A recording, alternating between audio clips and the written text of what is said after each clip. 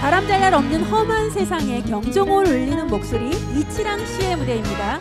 부끄럽지 않소.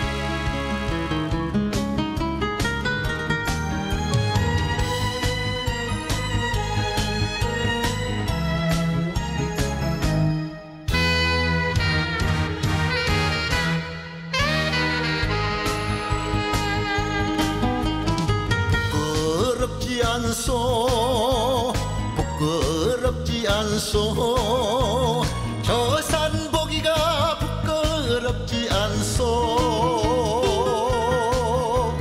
천년 만년을 흔들림 없이 그렇게 서 있는데. 백년도 못 되는 사랑을 하면서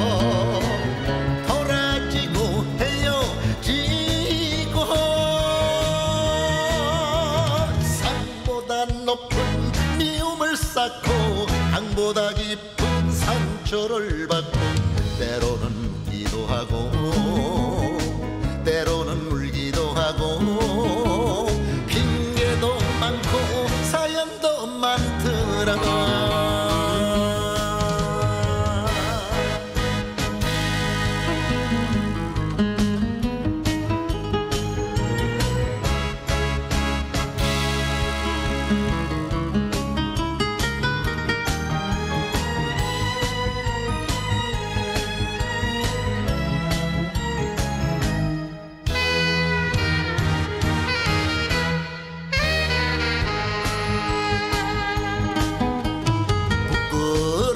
않소.